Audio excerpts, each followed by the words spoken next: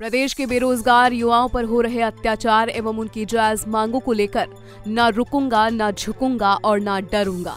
आठ दिन से लगातार धरने पर बैठे दिग्गज बीजेपी नेता और राज्यसभा सांसद किरोड़ी लाल मीणा। सांसद किरोड़ी के धरने को लगातार बीजेपी नेताओं और आमजन द्वारा मिल रहे जन समर्थन से घबराई गहलोत सरकार ने। बाबा को गिरफ़्तार करने के लिए धरना स्थल पर भारी पुलिस बल भेजा। वहीं पुलिस को देखकर धरना स्थल पर मौजूद सैकड़ों किरोड़ी समर्थक युवाओं ने नारेबाजी शुरू कर दी। तो वहीं सांसद किरोड़ी लाल मीणा ने कहा, न रुकूँगा, न झुकूँगा और न ही डरूँगा। सत्य और संघर्ष की राह पर चला हूँ और चलता रहूँगा। पुलिस की गिरफ्तारी से डरकर भागने वाला नहीं हूँ मैं। मुखिया जी, हम तो पहले भी कई बार आंदोलन करते हुए जा चुके हैं जेल।